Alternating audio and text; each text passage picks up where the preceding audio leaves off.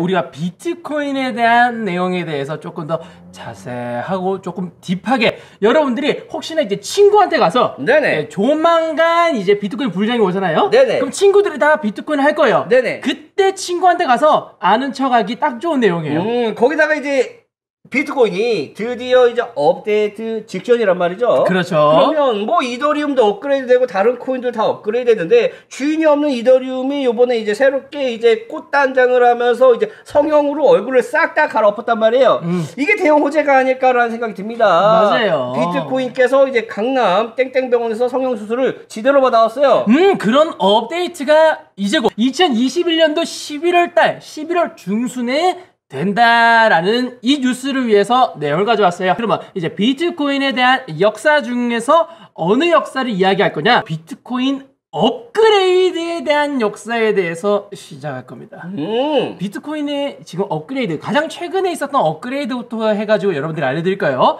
자, 2017년도에 비트코인이 업그레이드를 한 번 합니다. 오, 근데 대부분의 사람들은 잘 몰라요. 그렇죠. 업그레이드 했는지 몰라. 어떤 업그레이드를 했었죠? 네, 어떤 업그레이드냐면 SegWit이라는 업그레이드를 합니다. 이게 뭐지? 네, 그냥 업그레이드 이름입니다. 이름, 아. 이름, 이름. 예, patch note 이름. 음, 그냥 뭐 메이플 스토리 뭐 patch note 하면 뭐 그 patch note랑 똑같은 거예요. SegWit이라는 게 이름이에요. SegWit이라는 patch를 했다, 업그레이드를 했다라고 생각하시면 되겠습니다. 근데 이 SegWit이라는 이 업그레이드는 무엇을 업그레이드 했냐? 뭘 했습니까? 여기서부터 어려워져. 자, 그러면 무엇이 바뀌느냐? 요- 요겁니다. 우리 비트코인이 전송이 되려면 거래 내용이 있어야 되고요. 그리고 본인 인증란이 있습니다. 본인 네네. 인증. 본인 인증란이 뭐냐면 서명란입니다. 제가 일부러 뭐 deep하게 이야기할 수 있는데 deep하게 이야기 안 할 거예요. 무슨 개인 키, 이제 private key 해가지고 잠근다라는 이런 이야기는 전부 패스하고 본인 인증란이라고 그냥 쉽게 설명할 거니까 나중에 불편 안 났으면 좋겠어요. 네. 쉽게 말하는 거야. 지금 버전은 이제 문과용이다. 자, 우리 비트코인을 전송할 때 A, A한테서 B로 옮긴다라는 거래 내용과 네네. 이거는 A가 보낸 거야 라는 이 서명이 들어갑니다. 음. 이 서명이 원래 합쳐져서 들어가거든요. 이거를 분리했다라는 게 세그윗입니다. 왜 분리했습니까? 왜냐하면 비트코인이 담을 수 있는 거래 내용에 한계가 있었거든요. 오. 왜냐하면 이 모든 내용을 보시면 서명란이 크죠? 네네. 빈 공간이야. 네네. 공간만 차지해요. 오. 그러면 꽉꽉 눌러야 되는데 누를 수가 없다 이 말입니다. 오, 그렇네요. 이 빈 공간까지 싸그리 싹싹 쓰기 위해서 야 이거 빈 공간 많으니까 빼고 여기 거리 내역이나 챙기자 해서 이렇게 만들어진 거다 네, 요게 뭐다 세그윗 업그레이드다 라고 생각하시면 되시고요 아, 추가적인 기능은 이제 세그윗 업그레이드를 하면서 이제 거래 내역 관련돼서 패치가 되었기 때문에 네네. 이중으로 누군가가 거래를 요청하는 것도 막히게 됐다라고 생각하시면 됩니다 그리고 이거 업그레이드 이후에 비트코인 개 많이 올랐어 음, 많이 올라갔습니다. 이 업그레이드하고 얼마나 올라갔느냐 네네. 쭉 올라갔습니다 쭉쭉쭉 형, 형님들 이거 보이신 야 업그레이드 자야 우리 업그레이드 하시고 우리 비트 형님 물론 이제 중국 애들 이제 탈세하려고 한국에 들어온 것도 있긴 하지만 업그레이드 위에 이렇게 됐어 네 근데 이번 달에도 비트코인 업그레이드가 있잖아요 그렇죠. 몇 년 만입니까 이게 어. 설레요 설레요 4년 만에 업그레이드에 4년 만에 그것도 시- 딱, 딱 타이밍도 비슷해. 네네. 정고점 넘기고 우리가 업그레이드 한다. 아. 자, 그래서 저번에 있었던 세그윗 업데이트는 이렇게 서명이 분리되는 거고, 이 서명이 분리되면서 거래 내역 TXID로 장난치는 음. 걸로 인해서 누군가가 사기치는 것도 막혔다라고 생각하시면 되고요. 업그레이드가 진짜 혁신적이다. 네네. 정말 대단한 업그레이드다 하면서 업그레이드가 이제 진행되려고 합니다. 음 자, 2017년도 이렇게 해서 soft fork를 진행하려고 하거든요. 네네 soft fork를 진행하려 하는데 여기서 누군가가 반기를 듭니다. nope 넵. 야 이거 SegWit 업데이트 하지 마. nope 하지 말고 우리 비트코인 SegWit 업그레이드가 이 공간이 좁아서 그런 거잖아요. 네네 야 공간 좁게 하지 마. 그냥 크게 써. 라고 이야기합니다. 누군가 네, 누구냐면 우지한이 와가지고 우리 비트코인이 담을 수 있는 한계가 1메가바이트거든요. 네네 과거 기준입니다. 과거에 1메가바이트거든요. 야, 이거 그냥 더블로 해. 묻고 더블로 가 어, 더블로 해. 2메가 아니면 8메가까지 늘려버려. 그러면 우리의 비트코인 빨라져. 야, 그 공간 줄여봤자 뭐하냐? 방 한 칸짜리보다 여덟 칸짜리가 훨씬 더 큰데? 라고 말해가지고 그때 당시에 이제 엄청난 투표가 일어납니다. 왜냐면 우리 비트코인 업그레이드는 네네. 업그레이드는 누가 하냐? 제한자가 합니다. 누군가가 야 이거 좋은 거 있는 것 같아. 업그레이드 한번 하자. 야 이거 맛집이야. 아 맛집이야. 라고 누군가 제안을 하면 뭘 하냐? 투표를 합니다. 진짜 탈중앙화 형식이에요. 네네. 투표를 진행해서 채굴자가 투표합니다. 투자, 네네. 투자자는 투표 못해. 채굴자가 갑입니다. 채굴자가 투표를 하는데 이때 당시에 맨 처음에 세그윗이라는 개념이 등장하고 네네. 업그레이드 하자고 했을 때 정말 혁신적이다 하면서 95%나 달하는 사람들이 이거 하자 하면서 진짜 와 이러면 비트코인 속도 좋아지겠네 하고 다들 95% 찬양하다가 우지한이 나타나서 nope이라고 외치고 65%까지 떨어지고요. 그리고 우지한이 야 이거 더블로 올리면 된다. 비트코인 블록 크기 늘리면 된다 하니까 찬성하는 사람이 40%까지 줄어듭니다. 하마터면 우리의 비트코인이 두 개로 쪼개질 뻔했어요.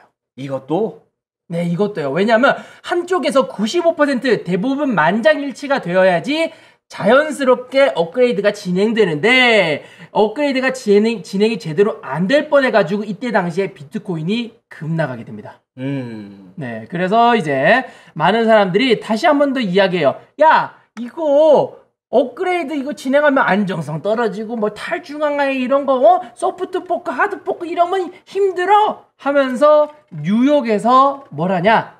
회의를 진행합니다. 회의를요. 네, 회의를 진행하고 우지환의 입을 틀어막습니다. 야 너 아가리 묵령. 우지환, 야, 이게 더 좋아, 이게. 야, 어? 그두 개, 두 개를 늘리는 거 안 좋아. 그냥 가지고 있는 상태에서 조금 개선만 하자. 라고 하면서 우지환의 입을 틀어 막습니다. 그러면 뭐 합니까?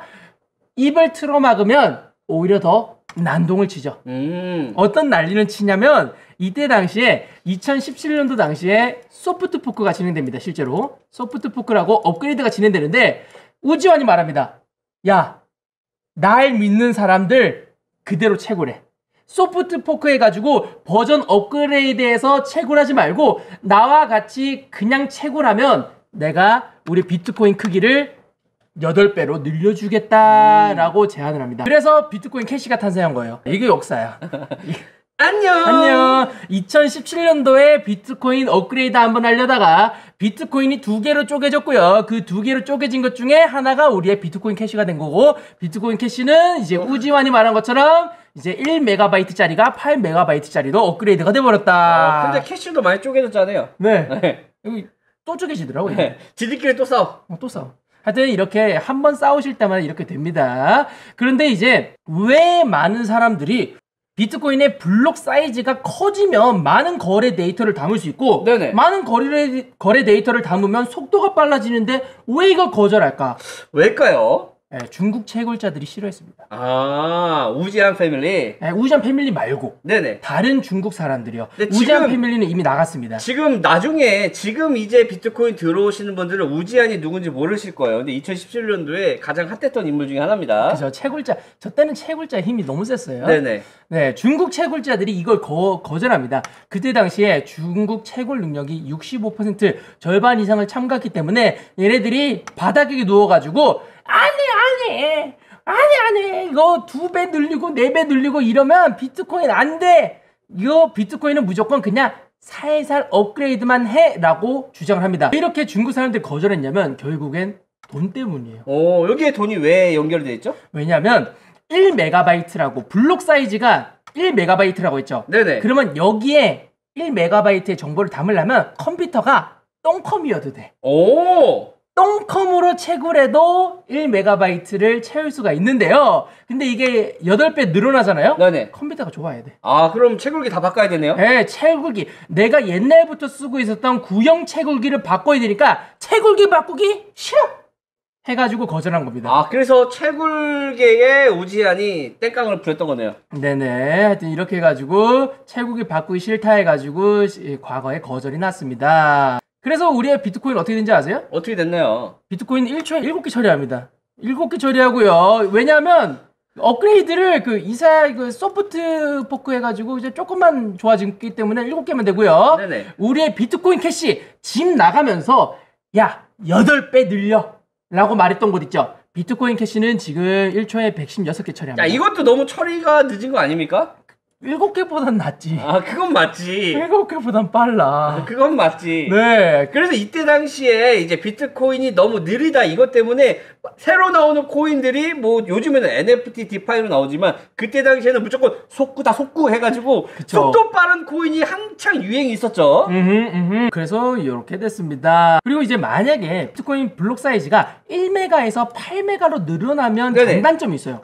무슨 장점이 있느냐? 일단 블록 사이즈가 커지게 되면 수수료가 줄어들고요. 네네. 그리고 확장성이 좋아지고 속도가 늘어납니다. 왜냐하면 10분 안에 1메가의 정보만 넘길 수 있는 거예요. 네네. 비트코인은 10분에 1메가의 정보만 넘길 수 있는데 10분 안에 8메가면 더 많은 정보를 담을 수 있으니까 네. 당연히 수수료도 떨어지고 확장성도 좋아지고 속도도 빨라지는 건데 그 대신에 나빠지는 거는 안정성이 떨어집니다. 음. 안정성이 떨어지고 탈중앙화에서 멀어지고 하드포크까지 이루어지게 되면서 채굴기를 싹 다 바꾸던가 채굴기 버전이라든지 이런 걸 다 바꿔야 되는 상황이 단점입니다. 맞아요. 네, 이 단점 때문에 중국 사람들이 거절했는데 이제 중국 사람 없어. 없어. 네, 중국 사람 없어. 니항 없어. 없어 없어. 중- 중국 규제 때문에 중국 채굴자 다 없어진 이 시점. 네네. 미국 사람들이 지금 대부분 채굴하고 있는 이 시점에서 정말 비트코인 블록체인에 대한 사이즈 업그레이드에 대한 이야기가 한 번 더 거론되지 않을까 싶습니다. 오. 왜냐하면 이 사이즈 때문에 나온 게 뭐다 이번에 여러분들에게 이야기할 템루트가 여기서 등장합니다. 오, 이제 이번에 업그레이드 되는 이 템루트에 대해서 얘기를 하기 위해서 밑밥을 좀 까신 거죠. 네 맞아요. 결국에 비트코인이 속도가 늘어가지고 다들 업데이트 하자고 난린 겁니다. 이게 어려워요. 그래서 역사를 알아야 되는 거예요.